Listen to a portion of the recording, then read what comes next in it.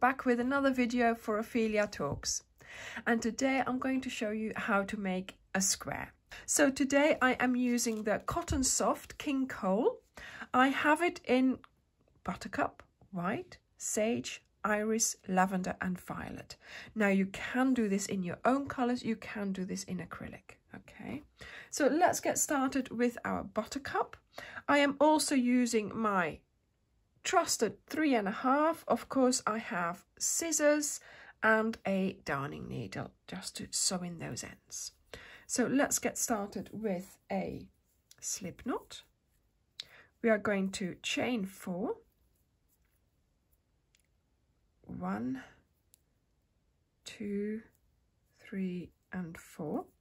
Then we are going to go back to the first chain and we go into it. We bring our working yarn through it and through the loop on our hook, making a little circle ready to get started. On doing one, two, and three chains. Then we are going to do a double crochet into the circle, chain one, double crochet into the circle. So this chain three here counts as a double crochet and a chain one. So we are going to do this until we have seven chain spaces. So now one, two, three, four, five, six, seven. I have seven. I've done my chain one. Now we go to that starting chain here. We skip the first two chains, then we try and pick up something in that third one. And now we have a little circle with eight chain spaces. And that's what we need. So we are going to cut off our yarn. So now we're going to be using the white. So make your slip knot insert your hook and we are going to get started with yarning over and into that chain space here we are going to place three double crochets so you can get started where you want make sure that if it's near your slip stitch it doesn't open up again so there we go three double crochets, chain one. Into the next chain space, we place three double crochets and then we do a chain one. There we go. And this is how we continue. And off we go again, doing our cluster of three double crochets and we put a chain in between. So I will see you when you have done this eight times. So I've just done my last three double crochets, chain one, go over to that first cluster. This one closes up for me. I go under the V there and I do a slip stitch to close the round. There we go. So this is what we've got now. Let's cut off our yarn, pull it through and there we go. So now let's make the petals of the flower. And we're going to choose the middle of our purples. Well, I mean, obviously you can use whichever colours you want. Um, but if you choose three complementary colours, then try to use the middle one for the petals. So once again, you are going to get started by making your slip knot. Now we are once again working in the chain spaces. So it's quite straightforward, this little flower here. So you yarn over into a chain space and you pull up a loop and you do a half double crochet. So that means pull through the three loops. Then scoot it over to the side. You're going to put in there five double crochets. Two, three, four, and five. And then scoot them over another half double crochet. Voila. So that's the petals that we are going to be making in each chain space around. So let me repeat it half double crochet five double crochets one two three four and five and then a half double crochet. There we go.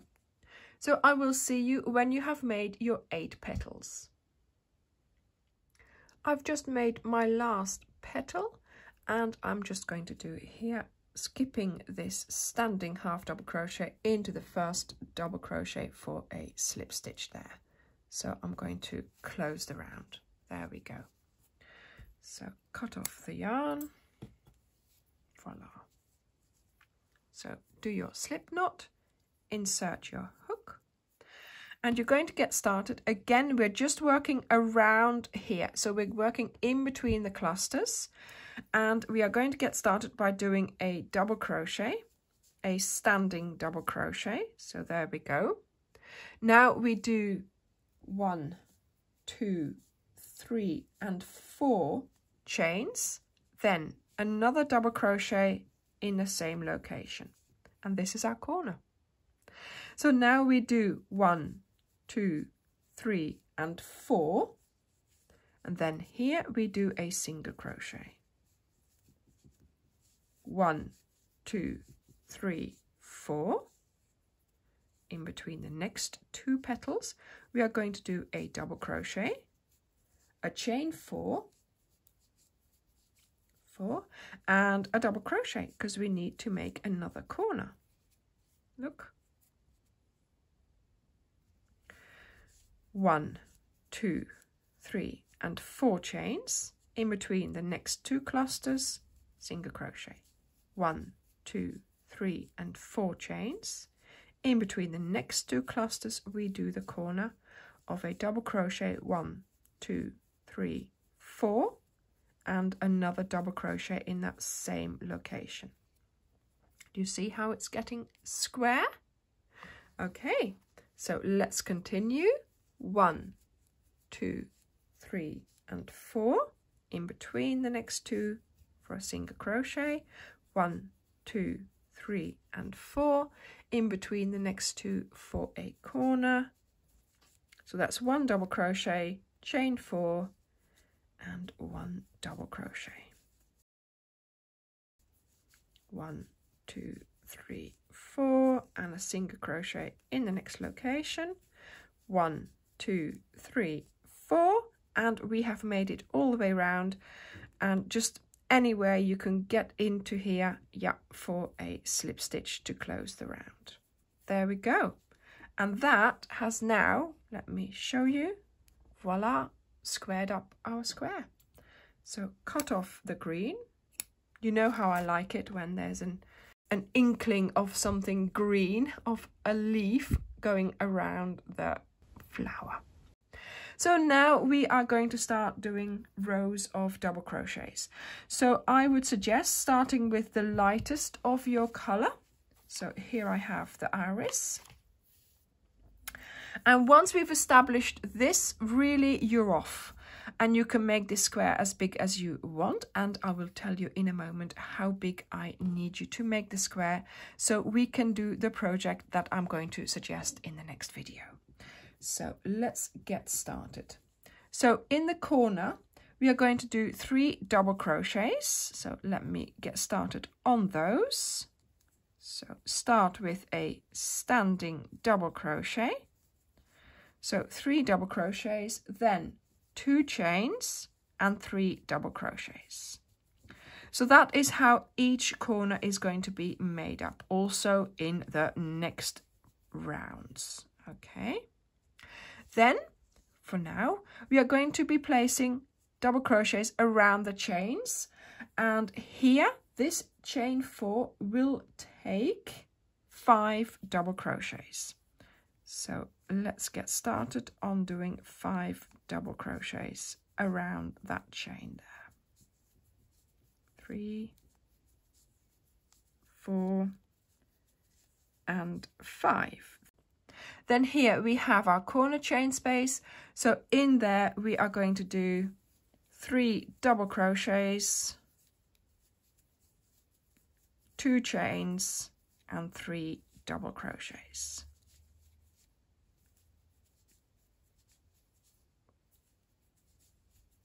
There we go. Oh, there we go. and as you can see, look, we are squaring up and our square is getting larger. So now we continue by putting five, five, the corner, five, five, the corner, five, five, and I will meet you here. So I've just done my last lot of five double crochets and now here skipping that standing one I go into the next one and I do my slip stitch to close the round. And to be honest, this already is a lovely square. So if this square is talking to you and it wants you to make a blanket, then, you know, go ahead. But for the project that I am suggesting in the next video, you will only need one of these squares. It's going to be an object that you can use, so I hope you will enjoy making it. But we need to make it a little bit bigger. So I'm going to suggest to do two rounds in this iris color, then two rounds in lavender and three rounds in violet. So while I am crocheting these rounds, I'm going to tell you about this series more in detail. So over the years, I have realized that you lot love being ready for a video. So if I show you on a Sunday one of the projects that I made, you love knowing how many squares, which squares to make, and then you're ready to make it by the time the video comes out. And I really enjoy that concept that you are there, ready with what you need when that video comes out and a couple of hours later I can see that some of you have already finished that project. Well, to cater for your needs, I came up with this idea. Now, I look at Pinterest, you know, for inspiration. And very often I see these diagrams there for all kinds of granny squares. You would not believe how many there are. And those always intrigue me because I often just want to try them out. I just want to sit down and crochet them. But then you've done that and you think, yeah, what do I do with it now? Yes, of course, it's nice to learn a new square, but then you've made it and it's lying there. Or if you want to make a blanket with it, then yes, you have to make like a gazillion of them. And to be honest, you don't always want to make a blanket. So then I started thinking, well, what if I said, here is a new square here is something that I found on Pinterest or something that I've come up with. And we make the square in the first tutorial.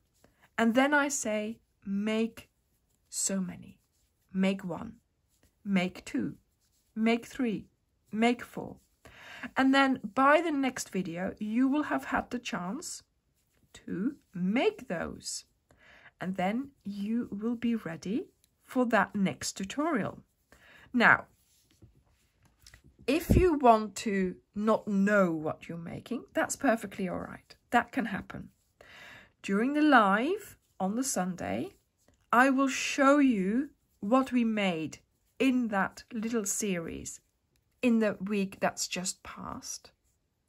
But then I will also show you in a separate section kind of thing where I tell you to look away I will also show you what we're making in the next week. So if you don't want to know, you just have to look away. and I will show you what we're making. I won't say anything about it, I will just show it off. And then on the Wednesday, you will be there ready for making the square or making the two, three, five, or 17 squares, whatever you will need. I will also indicate, like here, there are six colors that you need. Obviously, you can do it in one color. You can do it in your own colors. This is cotton that I'm using. You can easily do this in cotton, of course, but also in acrylic. So use what you've got. Don't worry about, you know, using the same colors. Obviously, if you like them and you want to use them, feel free. But if you don't, then just you know, use whatever you have. Then make the square or make the suggested size of the square like we're doing now. And then on Friday, I will suggest what we are going to make with it. If you like it, of course, you know, make it along.